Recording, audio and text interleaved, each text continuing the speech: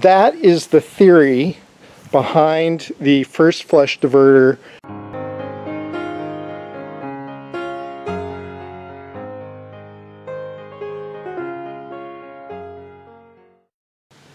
Welcome to Redbud. Today we're going to prepare this 275 gallon tote to be a rain catchment system. Um, involves a couple things. One is cutting a hole to receive the water from our downspouts, from our gutters. Uh, cutting another hole for uh, the overflow. Um, and we're going to talk about the plumbing regarding all that. Um, plus we're going to be um, preparing some mounts uh, on the side so that we can have those mounts mounted to the metal frame so that the exterior siding can be mounted onto those wooden mounts. Uh, that protects the plastic tote uh, but also limits the amount of sunshine that gets into the onto the water. Uh, if you get sun in there, um, cause all sorts of algae growth and things that you don't want in your water. So uh, darkness is the best, so that exterior siding, lots of benefits there. So let's get started. To cut our holes in the plastic, um, I use this variable adjustable uh, hole saw. Um, basically the drill um, is attached here and spins around and it slings this cutter around making the hole the size that we want. This is adjustable so I can loosen this um, um, hex wrench here uh, and adjust this in and out. Uh, when you're doing this you want to test this uh, because this can slide on you um, so typically on a scrap piece of lumber we'll, we'll test that. Alright so we've got our pilot hole drilled here. We're going to get started. Um, once this gets in, I'm going to move real slow so that the plastic doesn't rip.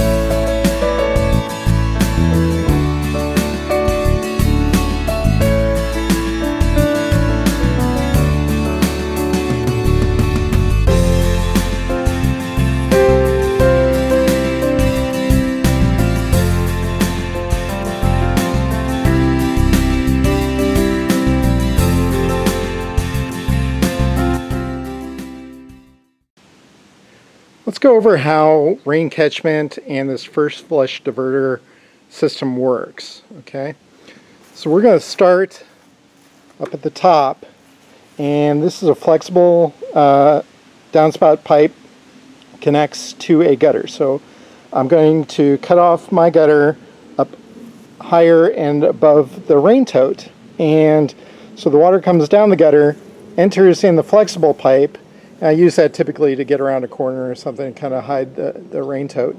And the rain comes down through that T right there, and then comes down and gets stopped by the clean out. Now this clean out section here uh, drips very slowly, so like one drip a second. So this is slowly um, emptying the pipe, but you know, considering the rains that we get, this pipe fills up, right? So anything that's heavier than water collects here. So grit, grime, anything that was on the roof, it fills up this pipe and the water starts rising and rising and rising, okay?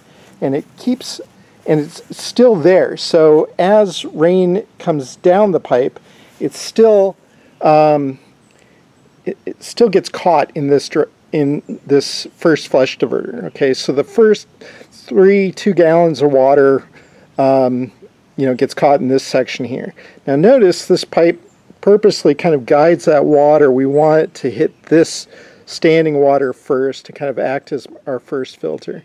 Then, uh, if this pipe is filled up, then the rain water is diverted over here and through this elbow and right here is going to be the top of our tote. Okay so then we come we're inside the tote right now and we have this very long pipe that kind of comes down to the bottom. Okay so this the bottom of the tote will be right at the bottom of this PVC pipe and we've kind of notched it open to kind of let that water come out and it's forced out at the very very bottom of the tote. Okay so um, you know, there's going to be a lot of churn, especially in a uh, hard rain. So anything that's lighter than water um, might get flushed out here. It might stand in that pipe for quite a while. But um, we're, we're trying to get some cross tote, water tote um, churn of that water to keep it all fresh. So this, we're forcing the rainwater to come out at the bottom. So anything that was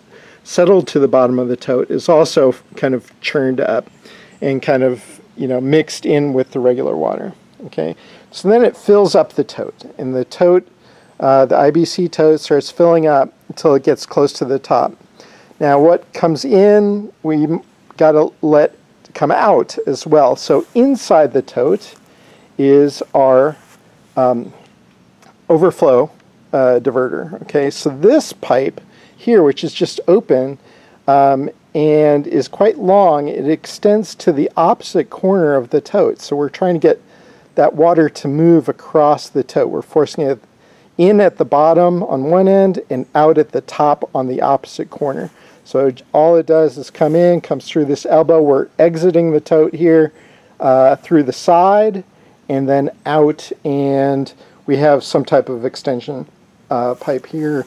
Now this pipe we kind of want to force that overflow away from the house. Uh, so uh, um, these are just dry fit right now. Uh, I'll probably put a longer pipe to kind of get th that water further away from our foundation.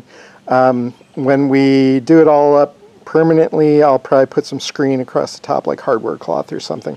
Just make sure that uh, you know, nobody climbs up into the pipe, uh, chipmunks, mouse, whatever. We, you don't want that inside the rain catchment. So that is the theory behind the first flush diverter. Um, you know, if you get a really, really gentle rain, uh, it may not fill up that pipe. You may not get anything into your rain catchment because the drip a second plus the, you know, the, the volume that needs to fill up this first flush diverter may not fill up. But that's okay. That's not the water that you want in your tote anyway. Um, we want where it's a big rain, um, and you know you'd be surprised. You know, a quarter inch of rain uh, can add quite a few gallons into the rain catchment. So um, it, it doesn't take very much to fill up these 270 some gallons. and then hit the overflow. Uh, keeps that water fresh, and then you know anything that's extra, it just goes on its way as if it normally would. Um, the only thing is that you've captured about 200 gallons for your own use. So there you go.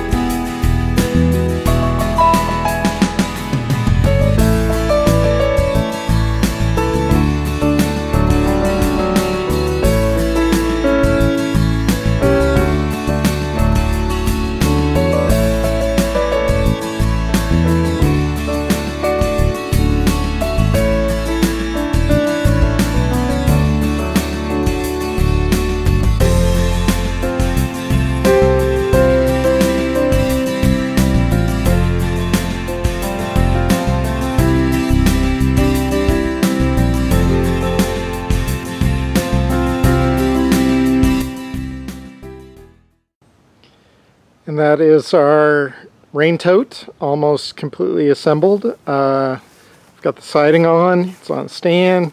Uh, it's caught about over 200 gallons of water. Uh, I've run out a few, few gallons just to give it some space for the next rain. Um, only thing left to do is do some of the corner trim and uh, top. Uh, but I've got a, a panel sitting on top so it's protecting from the sun, kind of minimizing the amount of uh, algae growing inside the water. But um, there we go. There's our rain tote attached to our gutter. Runs down, fills that first flush pipe there. Fills up, tees off, and then fills into the tank. The overflow behind it. So hope you enjoyed the video. And uh, if you could, like and subscribe. And uh, we'll catch you next time at Redbud.